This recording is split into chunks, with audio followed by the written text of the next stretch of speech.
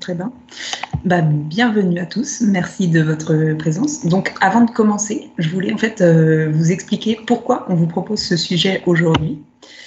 Alors, c'est parce que chez Talent, on est un certain nombre de consultants à avoir une conviction. Alors, on travaille euh, pour l'agilité, que ce soit au sein d'équipes agiles ou euh, pour accompagner la transformation agile d'entreprise.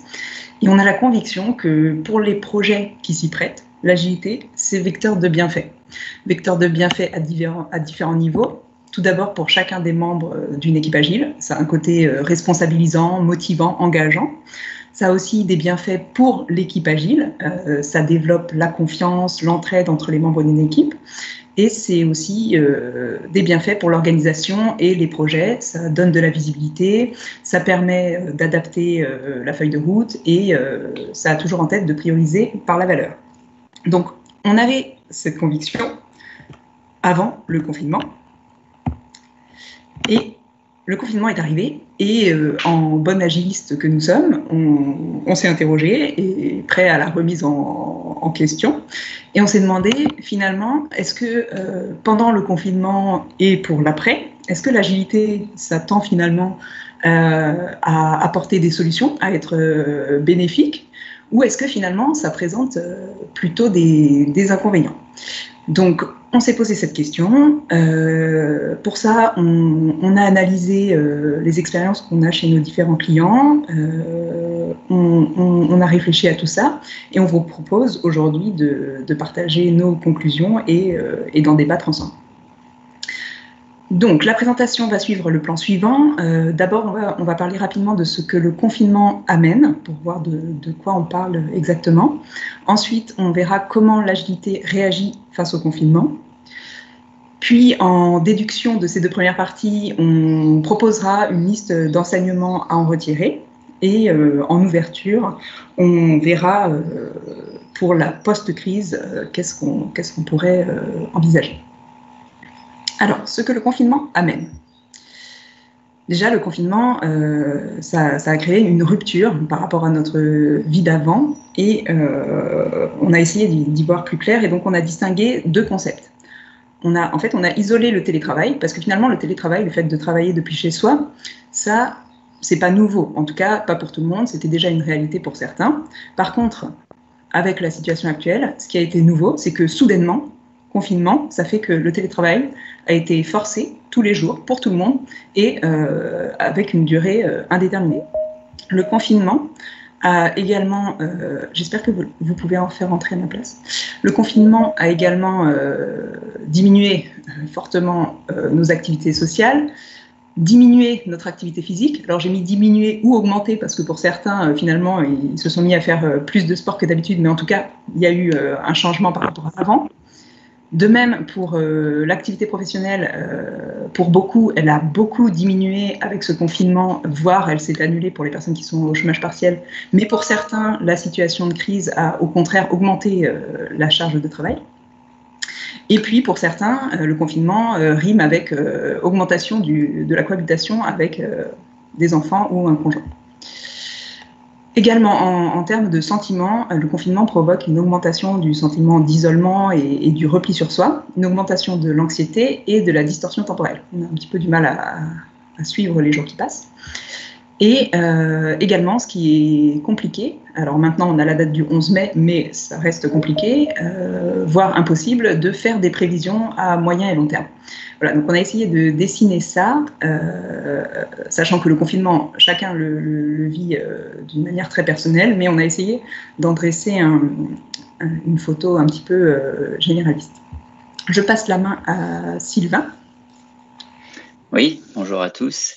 Euh, donc moi je souhaitais faire un zoom sur euh, la question euh, du sens qui, qui se pose, euh, je pense, avec le confinement pour beaucoup de nos collaborateurs.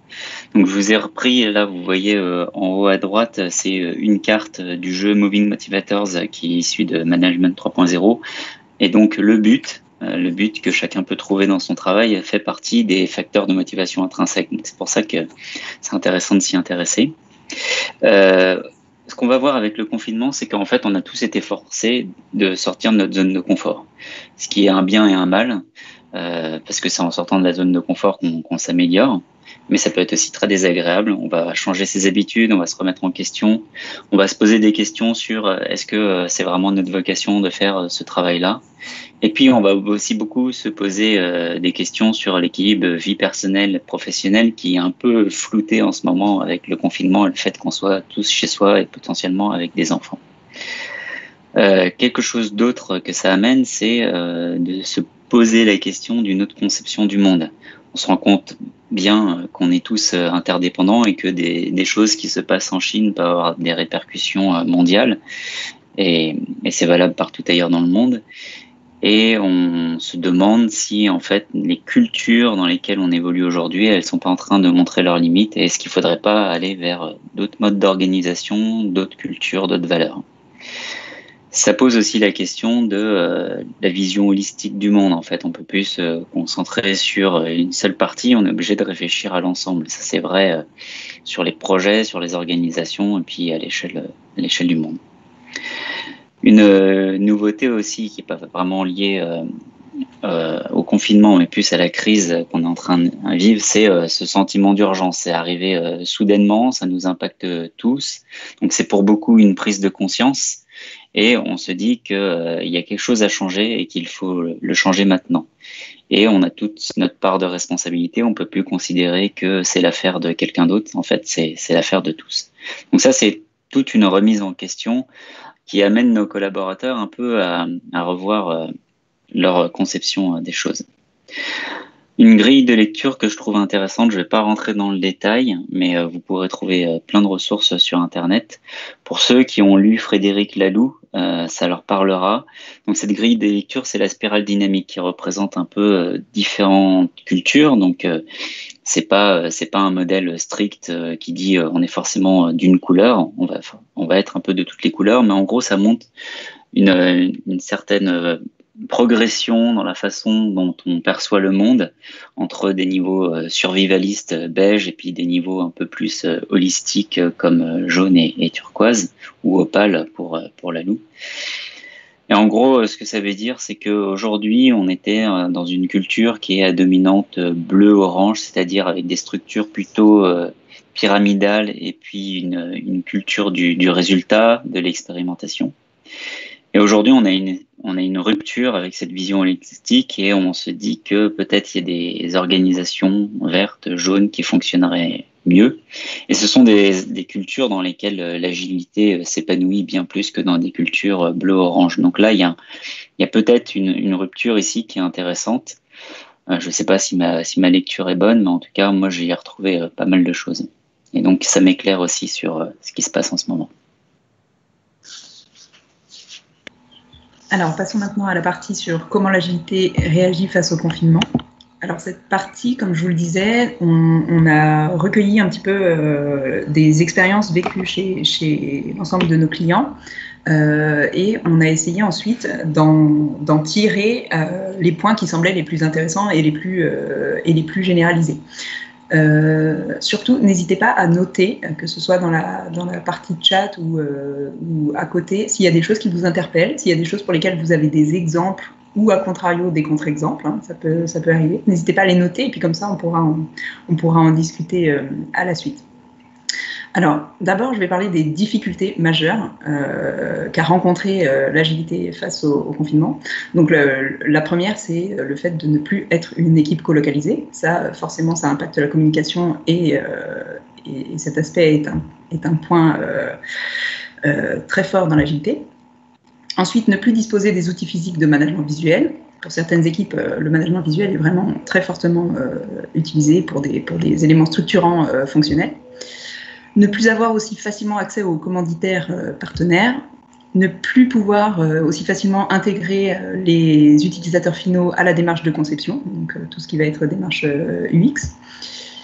Et enfin, on a détecté que c'était plus difficile pendant cette période de, lancer des nouveaux projets, des nouveaux collectifs agiles, et que les équipes qui étaient, qui étaient encore au balbutiement, elles avaient tendance à régresser. Euh, par contre, en face de ces difficultés, les équipes agiles, elles, euh, euh, ont deux points forts qui, leur ont permis de faire face à ces, deux à ces, difficultés. La première, c'est que les équipes agiles, elles sont habituées à s'adapter.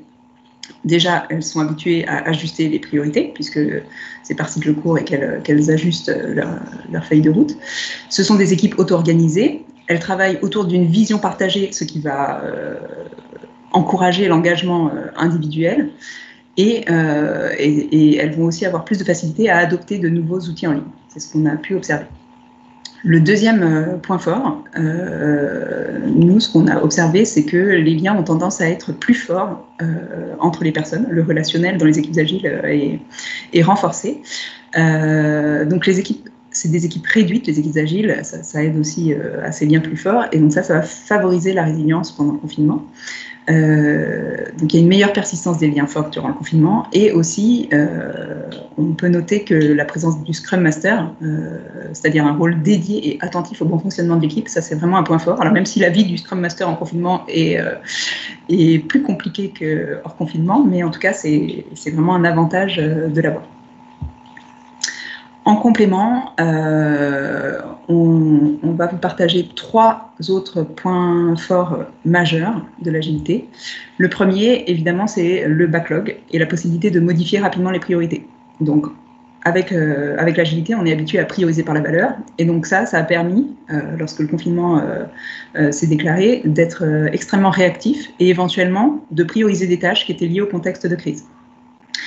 Aussi, euh, ça, ça permet, ce, système d'entonnoir permet euh, d'éviter trop de gâchis, puisque, euh, je vous le rappelle, on ne spécifie finement que ce qui va très bientôt rentrer en développement. Et donc, et ça, ça permet que s'il y a des items qui sont remis en question à cause de la crise, bah, potentiellement, ils pas été, on n'a pas perdu de temps à les spécifier.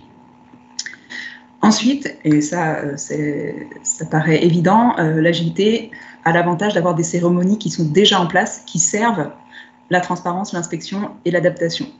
Donc, pour ne parler que, des trois, le délit qui, permet de faire un lien quotidien qui va favoriser l'engagement et l'entraide. Ça, d'ailleurs, on a pu voir que, que beaucoup d'équipes, même qui n'étaient pas en agile avant, euh, lors du confinement, ça paraît, ça paraît euh, vital de, de, se parler euh, un peu tous les jours, de, créer ce rendez-vous qui n'existait pas forcément euh, avant pour les équipes non agiles.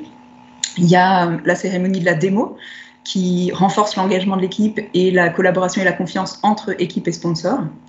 Et puis euh, la rétro, rituel par excellence, euh, qui permet de s'adapter euh, face aux imprévus.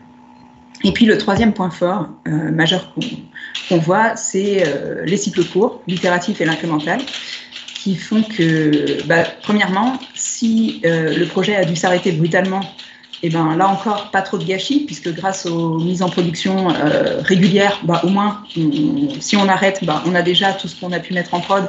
Et puis en plus ça a été priorisé par la valeur. Donc euh, donc on, a ce qu'il y avait de plus intéressant en prod.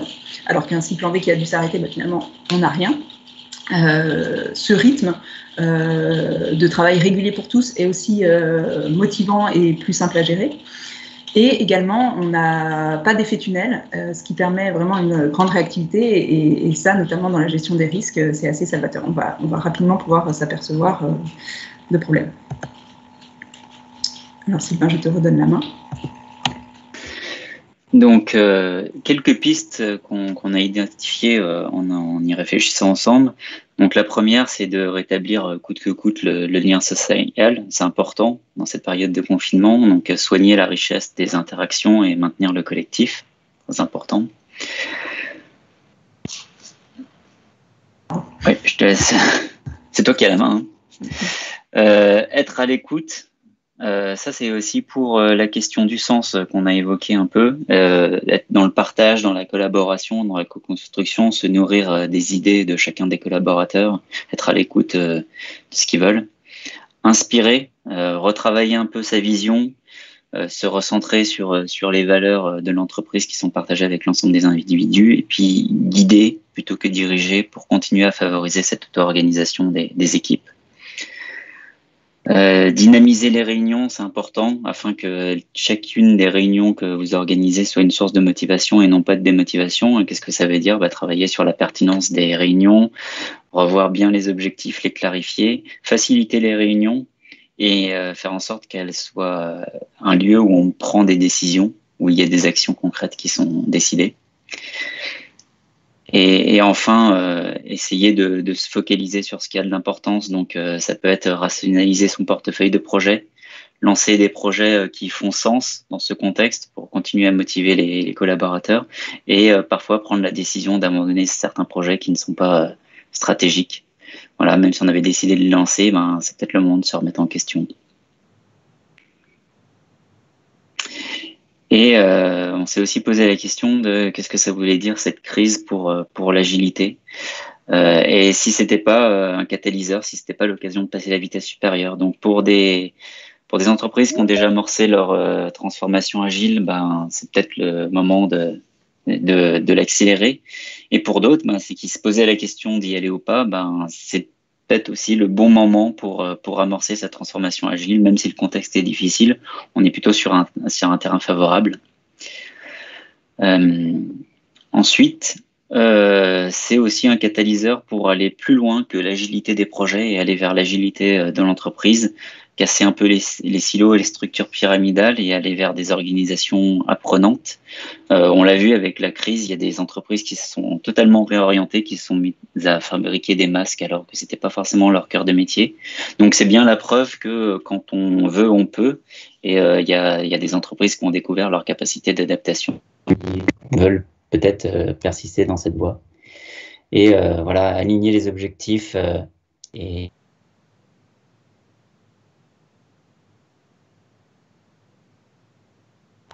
Ah, on, t'a perdu quelques instants, aussi, et on ne t'entend plus. Tu as perdu le. C'est bon, on t'entend. Euh, bof, vas-y, parle. Oui, c'est bon. c'est bon, c'est bon. Je reprends, je reprends où du coup? À la fin du deuxième à la fin du deuxième. Oui, donc je disais euh, aussi important d'aligner un peu les, objectifs de l'entreprise avec les, valeurs et des individus qui la composent, toujours pour avoir cet alignement et, s'assurer de la motivation et de l'engagement de chacun des collaborateurs. Et enfin, cette crise, elle peut peut-être amener à repenser euh, son impact social et environnemental, toujours dans cette optique de donner du sens à ce qu'on fait et puis d'aller vers euh, vers un monde durable et d'être euh, aligné avec euh, les valeurs de chacun des individus qui sont en train de, changer avec le contexte actuel.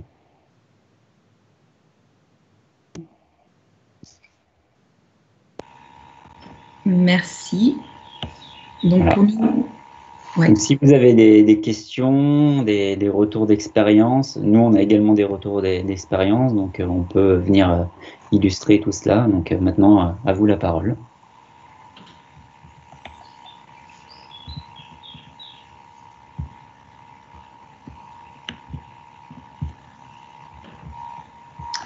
C'est dur d'être le premier.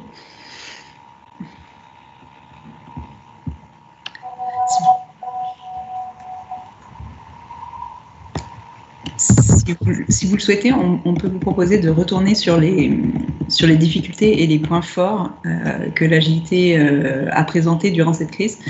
Euh, je ne sais pas si vous êtes en phase, si vous avez des exemples ou, des contre-exemples par exemple, est-ce que les, les personnes ont pu euh, facilement. Est-ce que déjà il y a des projets agiles qui se sont arrêtés à cause du confinement chez vous ou, ou est-ce qu'ils ont continué? Est-ce qu'ils se sont facilement adaptés?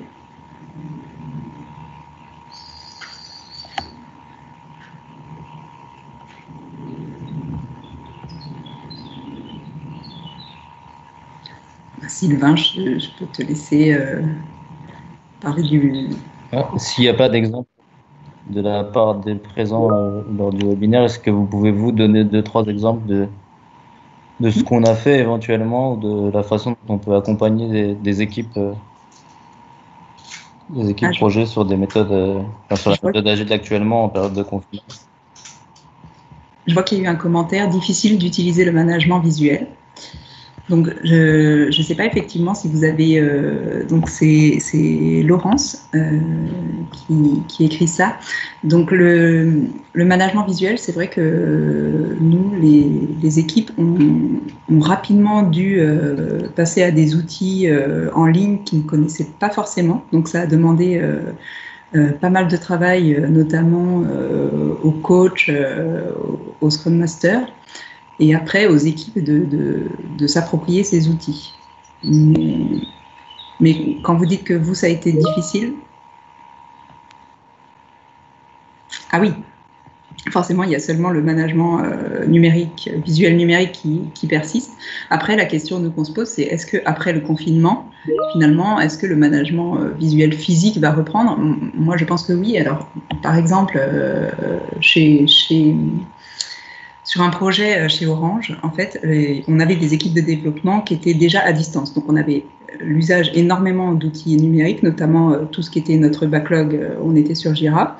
Et finalement, finalement au mur, bah, à part des tableaux de congés ou des petits KPI qu'on mettait à jour régulièrement, en fait, ce qui nous manquait le plus, c'est les parcours clients, les écrans de notre parcours web qui avaient été qui avait été maquetté dès le début du projet et qui finalement, euh, sans qu'on y pense plus que ça, euh, était un repère pour, euh, pour tout le monde en fait. Et en fait, dès qu'on avait une question à se poser de, quelle zone tu parles, de, quelle, de quoi tu parles dans cette US, etc., on se levait, on allait voir cet écran au mur. Et finalement, ça, on avait ce réflexe-là vraiment pour les écrans. Mais finalement, c'est ça qui a manqué. Mais, mais, en tout cas, dans ce projet-là, c'est vrai que tout ce qui était backlog, on n'a pas eu de problème. Après, on a vu des bons exemples de rétro euh, organisés euh, avec Miro. Ouais, j'allais en parler justement de Miro. Euh, moi, j'ai un exemple chez Enedis où du coup, on a utilisé Miro pour la première fois parce que du coup, on a dû trouver une manière de faire un PI planning à distance. et du coup, on a découvert cet outil très, de, de, qui est très implicite. Hein, ça, ça, fonctionne très bien. et du coup. Et, du coup, euh, ça, ça, ça, a hyper bien fonctionné. Et à l'inverse, en fait, on s'est dit que même quand on allait sortir du confinement, euh, on allait continuer à utiliser cet outil euh, parce qu'il était vraiment top. Après, pareil pour les rétros, on a découvert des outils comme euh, Metro Rétro de mémoire, je crois que ça s'appelle comme ça, euh, qui propose plein de formats de rétro. et du coup, ça permet de faire un, de, faire des comptes rendus euh, assez rapidement, d'avoir d'avoir quelque chose d'assez simple à exporter euh, pour pouvoir le réutiliser après. Donc, euh, du coup, nous, les outils numériques qu'on a découverts, on continuera de les utiliser après le après le confinement. Ouais, et puis on a vu qu'il y avait pas mal de, templates qui avaient été partagés et du coup, assez rapidement, il y a pas mal de matière qui, a, pu être euh, mis à disposition, qui, qui, a tourné entre entre, entre coachs. Euh, et, du coup, finalement, euh, j'ai l'impression que maintenant, on a énormément de matière pour, pour animer des rétros et pour, euh, pour prendre des, bonnes pratiques à droite à gauche.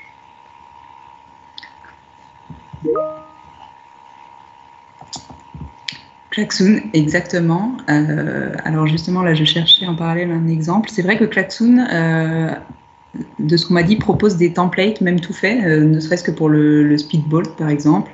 Euh, et il a l'avantage notamment de ne pas obliger les utilisateurs à créer un compte. Il suffit de leur envoyer un, un, code d'accès à, une réunion virtuelle. Donc, euh, c'est pas mal.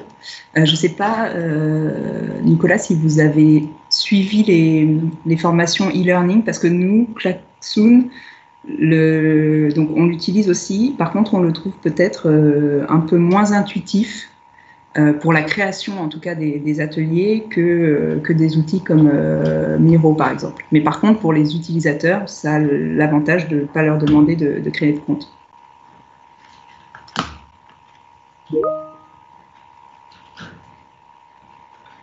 Ah, Bicast, je ne connais pas. Je ne sais pas si quelqu'un d'autre connaît. Alors, c'est Hélène. Euh, c'est un peu similaire à Klaxoon, sauf que je trouve qu'il est beaucoup plus facile à utiliser. Alors, c'est peut-être parce que j'ai commencé par Klaxoon, je ne sais pas. Mais en tout cas, c'est plus, il me semble plus simple à utiliser, peut-être moins complet, mais, euh, mais plus simple. Ça permet de faire. Même style, animation à, distance. Ok, ça permet de, réunion, des, jeux. Oui, des jeux, des quiz, des, de l'animation à distance, oui. Ok. De, tout type. Alors, c'est similaire, hein, Klaxoon. Ok, ok. Mais euh, Klaxoon, après, effectivement, il faut vraiment suivre les, les, petites, les petits tutos. Ouais. Et après, il y a un bon support de l'équipe. Et mm. franchement, c'est une fois qu'on est rentré dedans, c'est quand même assez, assez dynamique. Et il y a pas mal aussi de templates sur tout ce qui est speedboat et tout ça, on les retrouve aussi sur, euh, sur Klaxoon. Et sur Klaxoon, on les a, oui. Et puis on peut, les, on peut après faire euh, tout ce qui est rétrospective en étoile ou des choses comme ça. On peut aussi les, les dessiner, les préparer sur ces tableaux de, Klaxoon. Ok. Donc effectivement. Et donc vous, vous pensez que euh, ce que vous avez mis en place en ligne, vous allez peut-être le réutiliser quand vous serez à nouveau dans des réunions colocalisées? effectivement, nous, Klaxoon, de toute façon, on l'avait déployé avant. Enfin, on avait commencé à le déployer. Les, gens n'y allaient pas spécialement parce qu'ils ont des difficultés à animer à distance. Sauf que là, ben, avec le confinement, ils ont plutôt été obligés. Mm-hmm. Donc, euh, on a reproposé Klaxoon, surtout qu'en ce moment, là, ils font trois mois gratuits pour Gratuit. tester. Oui. Euh, Bicast aussi, hein, les deux. Et, euh, et, du coup, on leur a proposé ça. Et donc, certains sont en train de le tester. Donc, on espère que de ce confinement, on va. Ça va accrocher. Exactement, on espère un peu ça aussi. Et euh, ce qu'on a aussi, donc tant qu'on est dans les outils, on avait aussi utilisé Yobeya. Je sais pas si vous ah oui. qu'il y a de l'animation à distance, voilà. Donc il n'y a pas de jeu ou de choses comme ça, mais il y a quand même du brainstorming et de l'animation à distance avec de, de l'Yobeya. Ok, et, c'est un point qu'on a, qu'on a euh, volontairement pas abordé parce que c'était pas le, truc prioritaire et pas, pas spécifique à l'agile, mais est-ce que vous avez rencontré euh, des, des, questionnements par rapport à la sécurité des, des outils que vous avez utilisés. Est-ce que c'est une, c'est une donnée sur laquelle vous avez été attentif dès le début ou est-ce que votre RSSI vous a, vous a rattrapé après? Non, c'est vrai dès le début, quand on commence, donc on teste nous euh, de notre côté quelques outils qui nous intéressent. Puis dès qu'on voit qu'on va, on risque de le proposer, on, aussitôt on fait la démarche RSSI et donc euh, on s'assure que ce soit bien. Justement, Bicast n'est pas validé par le, notre RSSI, alors que Klaxoon l'est. Ok. Et alors pour la pour l'aspect euh, visioconférence, parce qu'en général on utilise euh, deux outils couplés, à la fois le, le, board et, et l'aspect visio. Et déjà, est-ce que vous faisiez bien des visios ou alors seulement des, conférences téléphoniques? Ça vous, avez Teams? euh, On a Teams, euh, mais on n'a pas Teams Visio. On l'a pas encore. Ah d'accord. C'est dommage. C'était euh, voilà, c'est dommage. On l'a pas encore. Par contre, ce qu'on faisait, on, fait des visios avec Skype. Ok. Avec le link interentreprise. Mais on, normalement, on va partir en déploiement de Teams Visio justement. Ok mais pas encore. Donc justement, grâce à vous, je teste la, bah, fonctionnalité sans, l'organiser, puisque je ne peux pas être organisateur, mais euh, en tout cas, je. Bon, je tant que participant déjà. Bah, c'est vrai que nous, chez Talent Bordeaux, ça faisait juste quelques mois qu'on avait migré sur, sur Office 365, donc on avait eu le temps un peu de, s'approprier les outils, et notamment tout ce que tout ce qu'offre Teams, c'est assez. Euh, c'est assez phénoménal et, c'est vrai qu'en période de confinement, ça s'avère euh, notre outil euh, préféré. Et juste pour, faire le lien, justement, enfin pour ceux qui s'intéressent aussi, qui ont Teams, je crois qu'il est question d'intégrer euh, Klaxoon dans Teams. En tout cas, de pouvoir le, aller les chercher comme une application, comme on a Planner, comme on a d'autres applications. Je ne sais pas si c'est encore fait, mais en tout cas, ça avait été question d'intégrer. Alors, intégrer, avoir, je sais pas. C'est-à-dire que vous avez. De l'intégrer complètement, parce que nous, en fait, au départ, on, en fait, Alors, on avait des, des boards sur Trello pour, pour, certains chantiers. Et en fait, on a la possibilité dans Teams euh, d'intégrer des, des, pages web. Et du coup, on, a pu intégrer, notamment, ne pas perdre tout, tout un, un système de tableaux euh, Trello. Donc, je ne sais pas si c'est la même chose avec Klaxoon, parce qu'on peut intégrer pareil avec l'URL. Est-ce que c'est plus que ça? Non, c'est ça. C'est-à-dire qu'à partir de Teams, si je reviens dans, dans mon Teams, je ne sais pas, maintenant, non, si je suis en conférence, je ne peux pas le faire. Euh, à certains moments, vous pouvez, dans votre, quand vous gérez une équipe, vous mhm. pouvez aller chercher différentes applications telles que Visio. Voilà. Et c'est de cette façon-là que Klaxoon sera, sera disponible. Ah, d'accord, donc Voilà. À condition, bien sûr, que vous ayez la licence. Mais, euh, mais en tout cas, euh, il y aura possibilité de faire le lien directement. Ah bah, du coup, ça vaut le ce que j'avais entendu. capitaliser sur Klaxoon. Ça vaut le coup, même si c'est peut-être un peu moins intuitif, ça vaut le coup de, passer, euh, de passer par l'étape un peu e-learning et de, et de s'approprier. Voilà, c'est pour ça que je donne cette information-là pour ceux qui hésitent, en tout cas, entre, avec d'autres comme Bicast ou quoi, qui sont plus simples a priori, mais qui risquent d'être moins intégrés. Ok, merci beaucoup. Est-ce qu'il y a d'autres remarques, d'autres exemples, d'autres sujets?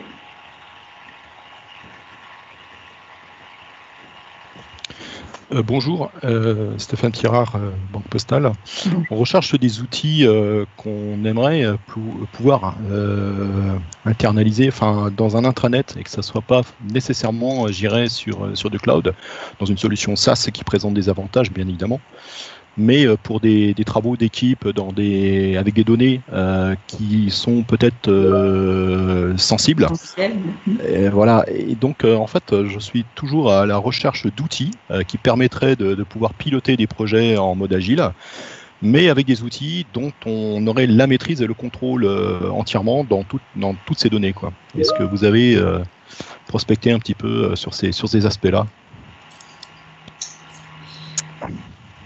Alors, je réfléchis. Est-ce qu'on a le cas déjà chez d'autres? Ah, Comme euh, comme c'est dit dans le chat, euh, Jira a une version serveur qui peut être installée euh, dans, sur vos serveurs. Donc si c'est de ça dont vous parliez quand vous parliez pilotage de projet agile, il y a ça qui répond. Après, sur les solutions de tableau blanc interactif comme Klaxoon et Miro, j'en ai pas encore trouvé. Ouais, moi non plus. C'est bien dommage. à voir justement si Klaxoon est intégré à Teams, est-ce que ça va les forcer à, faire plus d'efforts sur, sur la confidentialité des données? Je ne sais pas. On espère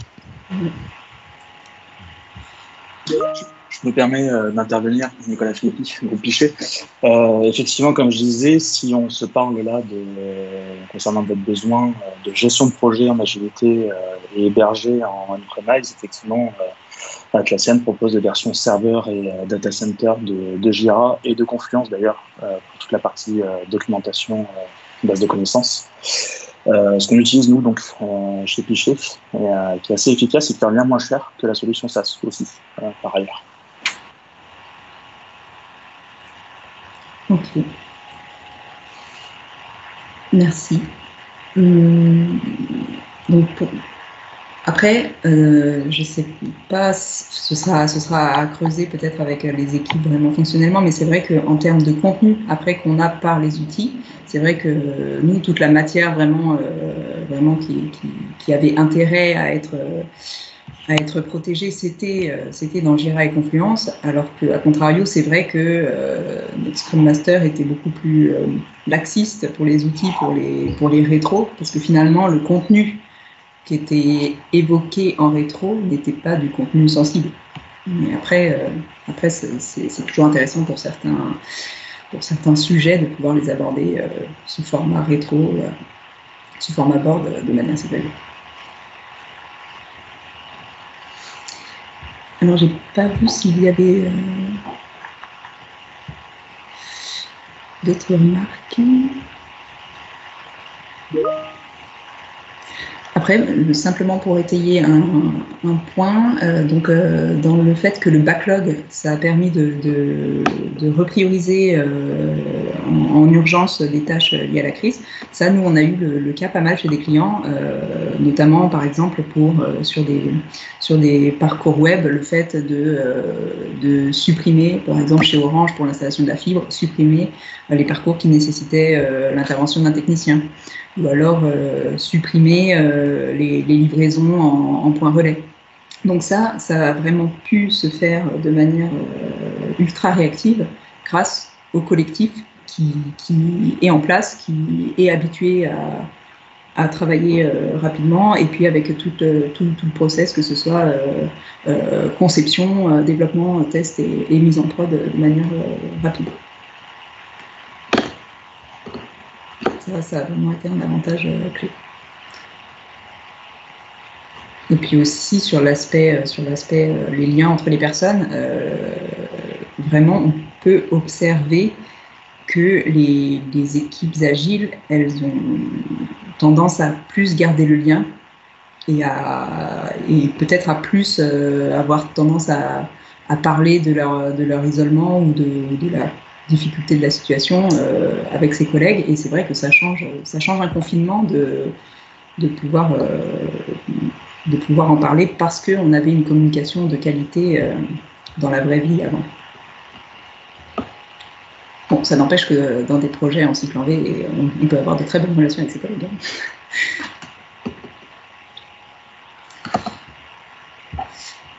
Euh, voilà, je ne sais pas s'il y avait d'autres sujets.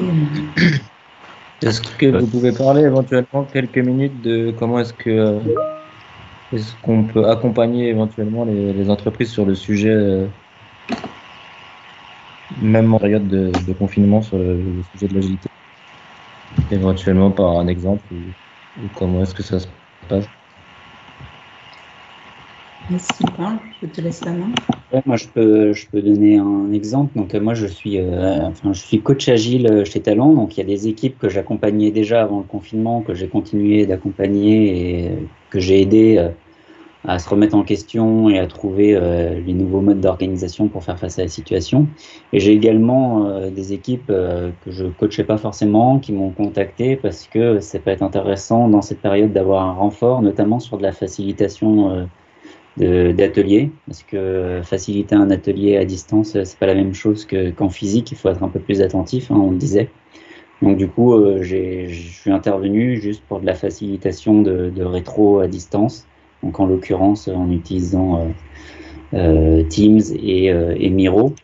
Donc ça s'est très bien passé. Donc ça c'est des choses qu'on peut faire. On peut également juste vous accompagner sur voilà de, de, de la remise en question, de de, un peu de, coaching sur comment revoir son organisation pour euh, bah, potentiellement lancer des nouveaux projets, euh, faire en sorte que des projets existants continuent à, fonctionner euh, correctement.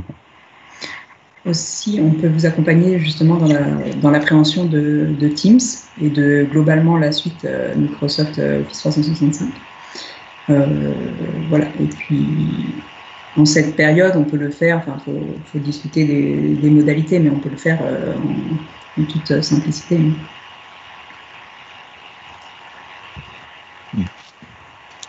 Ce qu'on remarque dans, la plupart des projets, hein, bon, c'est euh, déjà euh, c'est comment l'organiser et surtout là vous parliez du mot auto, auto-organisation et beaucoup de choses autour du mot auto. Et ça veut dire que lorsqu'on démarre, euh, on n'a pas forcément euh, des patterns sous la main euh, qui nous faciliteraient, qui nous permettraient d'accélérer, en tout cas de faire le premier pas, parce qu'il faut aussi comprendre ce qu'on fait, sinon on peut mhm. appliquer le meilleur pattern du monde, mais si on ne comprend pas le sens et sa direction, on ne va pas forcément dans la bonne direction. Tout à fait. Donc ça, effectivement, en accompagnement, alors, on a, on a un, format euh, qu'on dispensait avant. Euh, moi, je pense qu'il y, a des créneaux là-dessus. On n'a pas forcément tout entendu, mais en tout cas, on a des, des, formats de sessions de sensibilisation à l'agile qui, en fait, euh, ont justement pour vocation de, de d'amener les personnes à toucher du doigt les principes de l'agile, les valeurs de l'agile, plus que, euh, plus que les, méthodes. Parce que effectivement, le, but, c'est bien que les, les, personnes euh, comprennent les, valeurs de l'agile et, les, expérimentent. Et donc ça, euh, ça c'est vrai que c'est possible dès maintenant et que c'est nécessaire en, prérequis d'apprendre une méthode comme Safe ou Scrum. Donc ça, on a des, formats. Après, il faut voir en fonction des, besoins. Et il faut voir aussi d'où partent euh, les équipes. En plus, dans, dans, des équipes, il peut y avoir des niveaux différents, des personnes qui ont déjà travaillé en agile, alors qu'il y en a d'autres qui prennent le train euh, un peu en marche. Tout ça, c'est à étudier.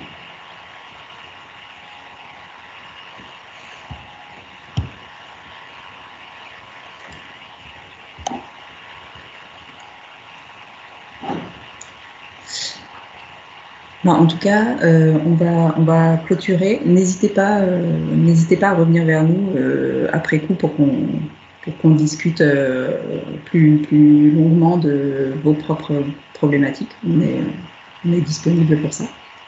Et on vous remercie beaucoup pour votre attention.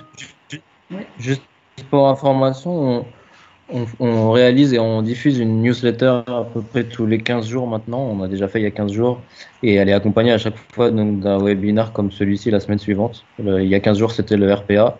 Aujourd'hui, c'était l'agilité. Euh, il va y en avoir évidemment dans 15 jours aussi, donc avec une newsletter la semaine prochaine sur de nouveaux sujets et un nouveau webinaire sur euh, un sujet encore tenu secret mais qui ne le sera bientôt plus. Quel suspense Alors, si, si, vous êtes intéressé, vous n'étiez pas dans la liste de diffusion de la newsletter, ah, oui, allez-y. Oui, euh, euh, excusez-moi, je voulais surtout pas vous interrompre, je suis désolé. Pas de problème. Euh, en fait, cette conversation-là, elle, elle, est intéressante à chaud, mais elle est aussi intéressante à froid, c'est-à-dire en réfléchissant un petit peu sur, ce que vous venez de, présenter, euh, avec les questions-réponses aussi qui peuvent venir au, fur et à mesure. Est-ce que cette conversation dans, dans Team euh, peut rester, euh, j'irais, euh, vivante, entre guillemets, pour pouvoir poser des questions et éventuellement échanger sur, sur des aspects? Est-ce que c'est possible ou, non? C'est une très bonne question, parce que nous qui avons Teams, on peut ensuite, via, via Teams, continuer la discussion dedans. Par contre, pour les personnes qui n'ont pas Teams, je ne sais pas. Ah, voilà, C'est une très bonne question. en tout cas, je vous propose, principe, oui.